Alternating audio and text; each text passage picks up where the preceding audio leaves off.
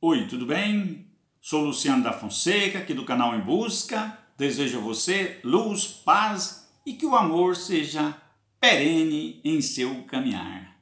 Hoje vou responder a pergunta de uma aluna que fez a pergunta para o professor de História: o que foi o Tratado de Brest-Litovsk? O Tratado de Brest-Litovsk foi um tratado de paz assinado entre a Rússia e as potências centrais, Alemanha, Áustria e o Império Otomano. O acordo foi assinado em 3 de março de 1918 e vai oficializar a retirada da Rússia da Primeira Guerra Mundial. No sentido geral, o tratado ficou conhecido pela dureza imposta pelas potências centrais, o que forçou a Rússia a lidar com as grandes perdas. O Tratado de Brest-Litovsk, assinado em 1918, teve vida curta.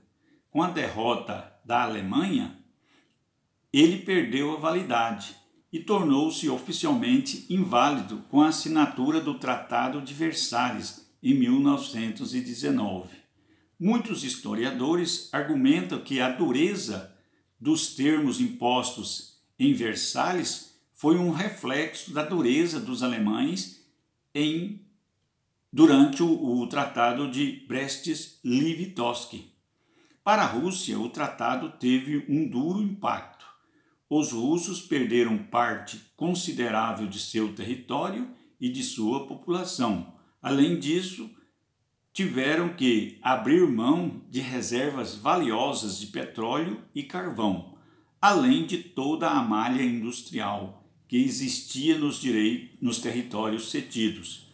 Por fim, o Tratado de Brest-Litovsk vai redefinir o mapa da Europa e levou ao surgimento de novas nações, como por exemplo a Polônia, a Estônia e a Lituânia. É isso aí, estou aberto à pergunta e vamos que vamos. Dê aquele joinha.